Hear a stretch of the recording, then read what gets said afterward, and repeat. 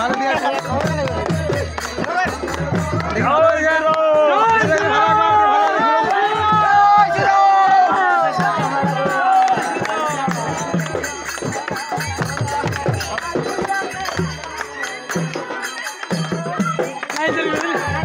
বন্ধ করলাম। ঠিক আছে আসার সময় চালু করব।